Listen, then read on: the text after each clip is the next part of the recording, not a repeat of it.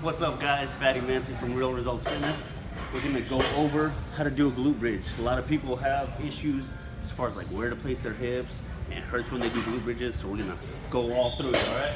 So come on over. Right, first of all, if you have one of those pads, that works, all right? But I don't. So what I'm gonna use is this uh, balancing pad that this gym has. And the way we're gonna do this is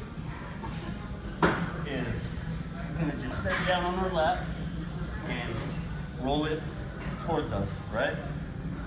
So where I want the bar from here, if you come in a little bit, where I want the bar from here is I want the bar aligned with my hip. So I want it like right on my hip bone. So it's gonna be, once I roll it forward, it's gonna be aligned with my hip bone. And then what I do now is I'm gonna pull my feet back. So you see, once I do that, the barbell raises.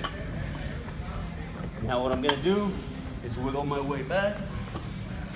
And then the checkpoints, when you do this, it's gonna be your knees, your hips, and your shoulders. You want those all in line. Because a lot of people, when they do these glute bridges, they end up short.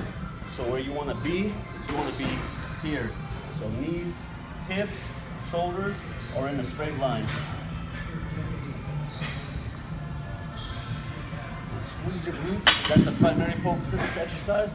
So we wanna squeeze our glutes at the top. And that will also help give you that extra push so your knees, hips, and shoulders are aligned. If your gym doesn't have one of these,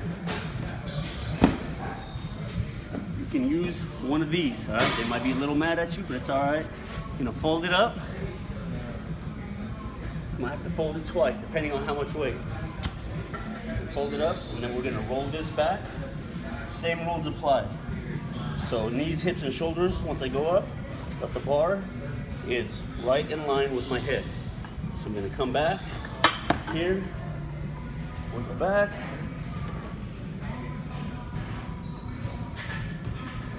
Knees, hips, shoulders. Where do you want to put your shoulders, last last part.